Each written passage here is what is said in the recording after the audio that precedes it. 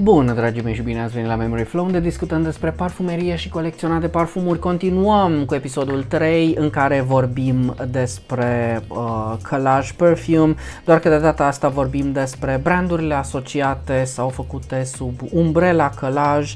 Hai să vedem ce luăm din săculețul uh, Magic. Luăm așa, prima dată am luat Emoționii, parfumul este Elisheva, uh, n-aș putea să vă spun ce înseamnă, dar sună foarte biblic.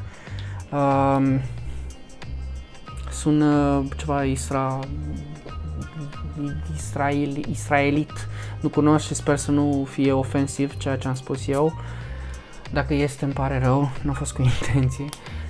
Ia să vedem. Mm. Uh, mă lovește o diferență uriașă între ce am uh, ce am mirosit până acum la călaș și acest, uh, acest uh, Emoționi Elisheva. Ăsta este un parfum făcut de către Dario Fini. Uh, este un parfum moscat. Uh, se simte ca un uh, se simte ca un uh, parfum nouăzecist. Uh, mi-aduce aminte de un Bulgari. Mi-aduce aminte de un Bulgari foarte nice. Uh, bine, o deschidere, da? Um, se, și vreau să zic e o diferență foarte mare între, între ce am mirosit uh, până acum, uh, partea asta uh, destul de, nu știu, naturală, sălbatecă, uh, asta este un parfum foarte așezat cumva, sau așa pare cel puțin, sau un, un, un parfum mult mai conformist, cred că ăsta e cuvântul față de ce am, uh, ce am mirosit uh, până acum. Este un parfum foarte ușor de purtat. Uh, nu pot să zic că ceva de aici mi se pare uh, ieșit din comun într-o parte sau alta. Uh, este un parfum ușor de purtat, este un parfum atrăgător, are niște tente uh, și ăsta niște tente ușor uh, picante, condimentate, vegetalo, ceva și îmi dă o senzație de deja vu. Asta e ideea. Asta, asta îmi dă o senzație de deja vu, de un parfum pe care eu l-am mai mirosit, însă e foarte greu să vă spun uh, unde și cum. Asta mai este un parfum uh, unisex, tare, mă, tare sunt curios în felul în care este el marketat, pentru că cred că mai degrabă mi-aduce aminte de parfumeria masculină uh, pe alocuri, uh, parfumeria masculină aia care nu știu cât e de interesanțică. Mi-aduce aminte așa un pic de un, de un gel de duș. Ia să văd ce scrie aici. Remark- remarkable gentleman never compromise. Uh, fericire pentru toată lumea. Elisheva este primul uh, așa parfum care dorește să aducă fericire, uh, nu cum se cheamă, să aducă un tribut uh, lui Dumnezeu. Uh, that's why the name is chosen from the Bible and it means, deci de-aia numele este ales din Biblie și înseamnă uh, Domnul este jurământul meu, deci am aflat ce înseamnă Elisheva. Aia era cu Eli, Eli, lama sabachthani. Uh, vai, don't ask. don't ask. Um, de-aia mi s-a părut mie uh, ceva biblic.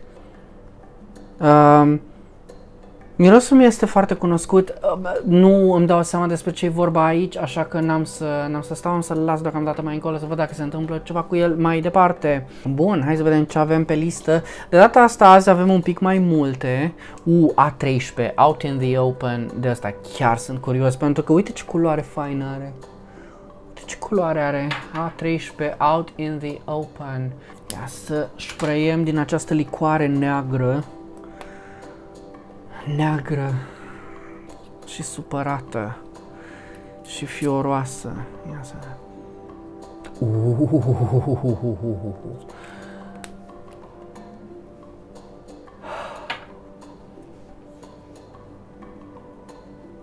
A 13 uh, e făcut tot de Matos, de Miguel Matos. Um, simt așa, din nou chestii amărui foarte grave, are o gravitate, asta este un parfum cu adevărat închis și la culoare și la miros. Uh, în zona, tot așa, în zona de tabac, în zona amărui, eu așa zic, acum să-mi fie cu iertare. Uh, dar la fel din nou ceva fructat, uh, fructat, dar foarte de bun simț, care nu mă deranjează, știți că eu am o problemă cu notele fructate uh, din, uh, din uh, pet peeve-urile mele, din lucrurile care mă deranjează cu adevărat. Uh, sunt, uh, sunt cireșele, nu le suport din, uh, din, uh, din principiu. uh, aici e o chestie foarte interesantă ce se întâmplă și nu-mi dau seama. E ceva foarte... Um, care e cuvântul ăla? Um, fenolic. Uh, foarte amărui, uh, pare ceva pielos. Pare ceva foarte pielos cu, cu niște zone, din, din zone dintre astea industriale, din zone de uh, chestii de prelucrat, miroase a, uh, ăsta e fine. Ăsta e un parfum fine. Mie ăsta îmi place foarte mult deocamdată. Din zona asta de, de prelucrat, de materiale prelucrate, piele prelucrată, nu știu cum să zic. Totuși cu o finețe contrastantă, da? Um, foarte interesant ce am mirosit aici, acesta 13 Out in the Open. Deocamdată văd că, văd că rămâne în stilul ăsta, Ia să văd dacă am ce citi de aici. Am ce citi? Uh, happiness begins with freedom. It implies it. Probabil de asta se cheamă out in the open, uh, în, în lumea largă, în deschiderea deschisă. Uh, la iveală, out in the open. Uh, fericirea începe cu libertatea și o implică. Uh, nu poate exista fă, fericire fără, drept, uh, fără uh, libertate, dar uh, libertatea are și o parte iluzorie, nu-i așa? Uh, uneori crezi că ești...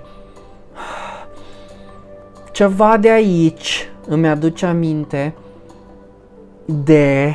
Uh, duetul acela pe care îl joacă Yasomia cu Tabacu în, uh, în uh, The Lover's Tale, doar că sunt parfumuri foarte diferite, dar vreau să spun ca referință. Ăsta e un parfum care mie îmi place foarte mult. Ăsta este un parfum care până acum, uh, și cred că ar fi interesant să vorbești și despre asta, până acum pe mine uh, am, am remarcat Blackbeard, pentru că nu aveam cum, mie îmi place Blackbeard, uh, uh, și am remarcat Lilin pentru aspectul acela atât de familiar și de plăcut. Uh, am remarcat uh, Alize pentru tonurile la uh, ciudate, contrastante, fructate, mi-a plăcut, dar A13 Out in the Open până acum mi-a plăcut cel mai mult. Asta e. E o, o, o, o diferență, un contrast, o rupere între o, o iasomie și o chestie, uh, tabac, ceva pielos, ceva... Place. Îmi place, îmi place. Foarte interesant făcut. Ia să văd, uh, nu știu dacă mai este ceva relevant aici de citit. Uh, dar până acum, plăcut, impresionat, îmi place. Hai să vedem, mai avem, mai avem, mai avem. Mai filmăm, totul e în ordine. Uh, Hai să, hai să, ne-a rămas această Livia Rus, care are o colecție inspirată din tarot. Dacă mă întreb pe mine, uh, nu m-aș fi prins niciodată uh, că The Emperor și The Empress este legat de tarot, dar ăsta sunt doar eu și recunosc eu nu sunt uh, foarte familiar cu tarotul, tot ce scriu este, pa- tot ce știu despre tarot este pajul de cupă, da, cred că așa se cheamă, The Page of Cups. Uh, uh, și papesa. Asta e tot ce știu din tarot. Uh, dar uh, dacă mă întreb pe mine genul ăsta de denumire împără, împăratul și împărăteasa, dacă n-ar fi chestia asta cu tarotul, uh, A13. Nu vine să cred, mi-a plăcut așa de mult A13. Uh, parcă nu-mi vine să trec la următorul. Foarte, foarte fain. Uh, ia să vedem, împărăteasa am spus că începem. Uh, Livia Rus, un alt brand uh, îngrijit de către, de către Flavius. Uh, ok, Baccarat Rouge.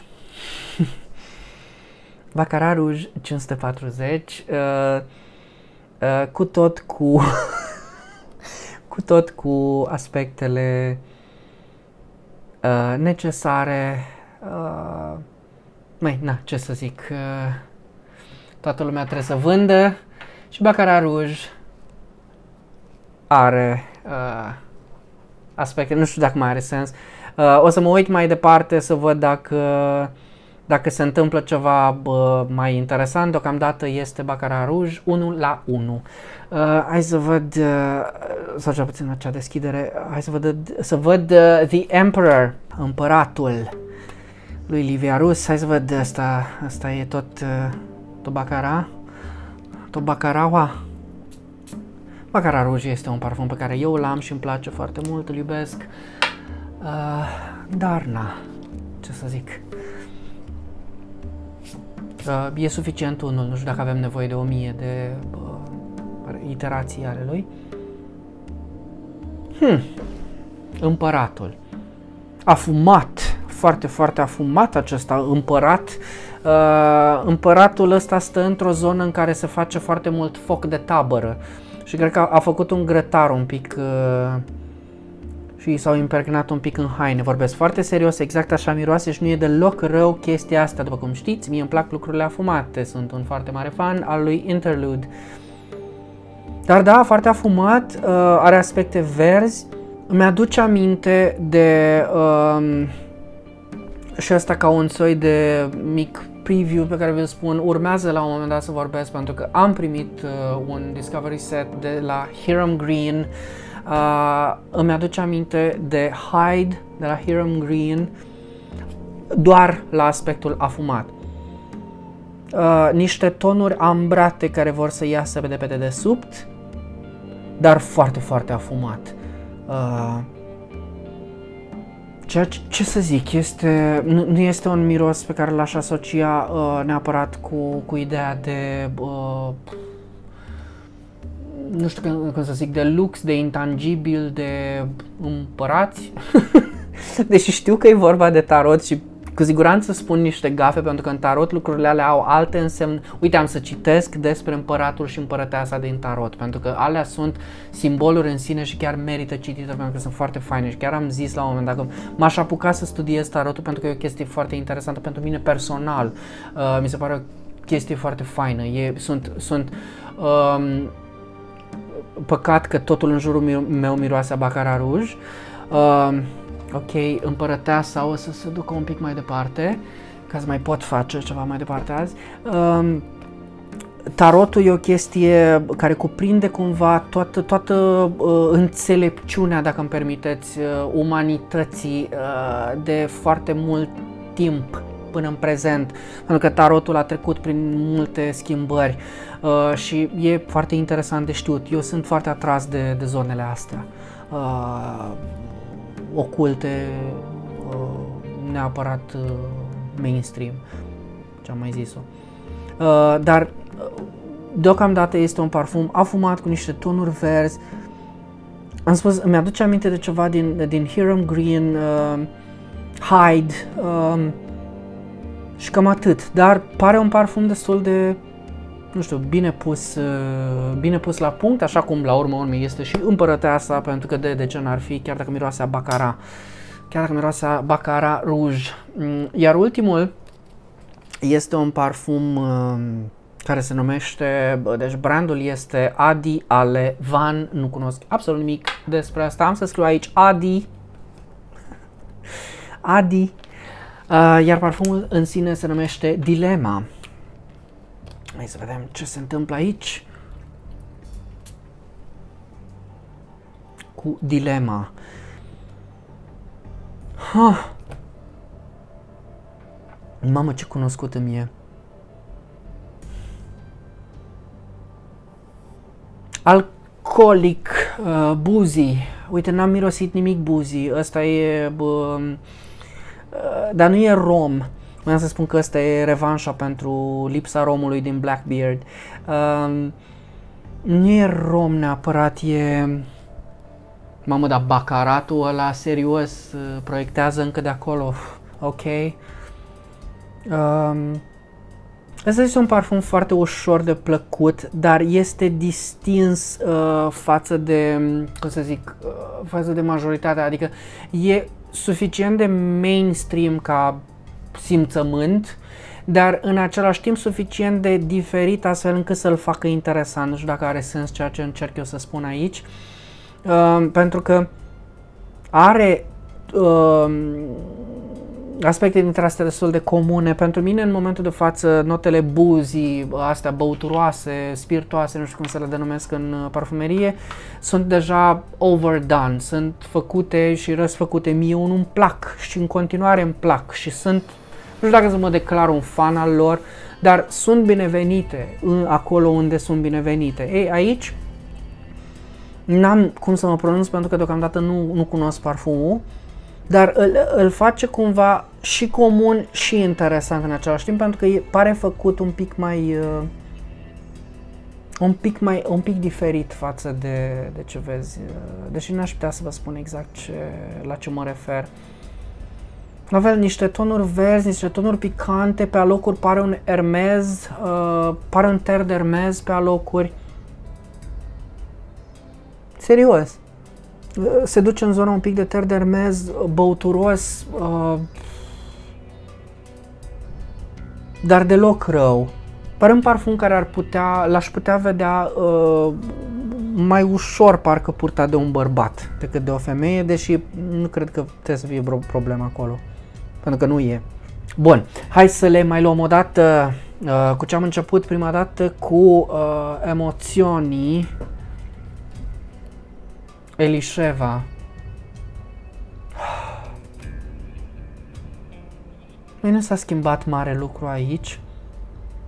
Asta pare un parfum foarte, la fel, foarte ușor de purtat, un pic, un soi de, un, un, un parfum prietenos uh, pentru birou, pentru oameni care vor pur și simplu să miroase fine, fără să caute ceva în plus, vreo chestie, vreo interesanțenie.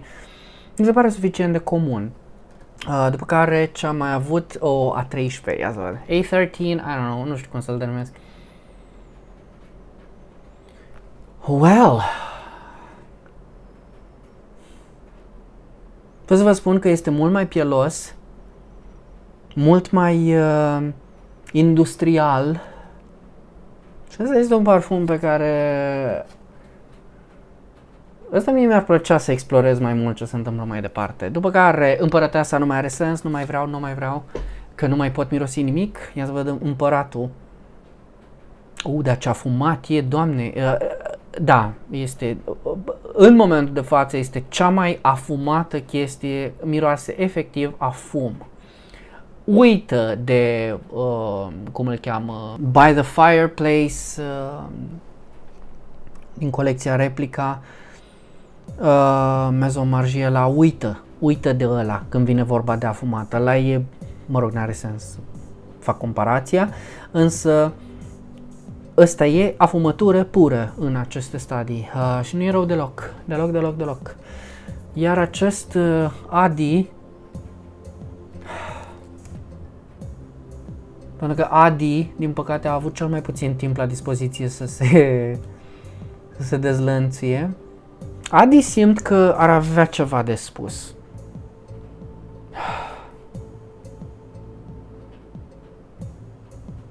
Doar că nu-mi dau seama ce.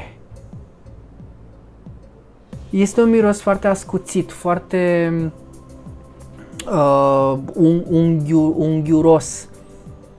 Uh, am spus, aduce cumva cu partea de praf de pușcă din Terdermez, uh, doar că mi se pare mai acru, mai, mai uh, ascuțit. Uh, și în același timp, parcă vrea să spună ceva mai mult de atât. Dar uh, vreau să spun că deocamdată îmi place și da, pare Pare ceva un pic mai masculin decât... Păi da, nu-mi dau seama. Niște rășini ies din... Așa. Adi... Adi îmi aduce aminte de uh, cel puțin în aceste stadii de aspecte din Gucci Purom 1. Asta era. Aia e. Uh, arsura, partea aia, da, da, da. Uh, Gucci Purom 1 sau, uh, în termeni mai familiari, Bentley Purom Absolut. Mi se pare că aduce cumva în zona aia. Bun, dragii mei, cam asta a fost uh, toată experiența mea de până acum cu parfumeria, călaj, cu uh, ce este în momentul de față în ofertă, ca să zic așa. Și experiența până acum a fost uh, una destul de interesantă. Cel puțin uh, am descoperit niște chestii care, cel puțin acesta 13 mi-a plăcut foarte mult. Uh, și sunt curios ca de obicei despre părerile voastre, ce știți despre aceste parfumuri, uh, ce nu știți puteți să mă întrebați, voi reveni cu detalii despre ele în momentul în care ajung să le cunosc mai bine și uh, vă rog să-mi lăsați părerile voastre despre călaj, perfume în comentarii. Dacă încă nu ați făcut uh, acest lucru, vă invit să vă abonați canalului meu pentru că mă ajută foarte mult, iar până data viitoare nu uitați, parfumul creează amintiri și îmi doresc ca ale voastre să fie cele mai plăcute.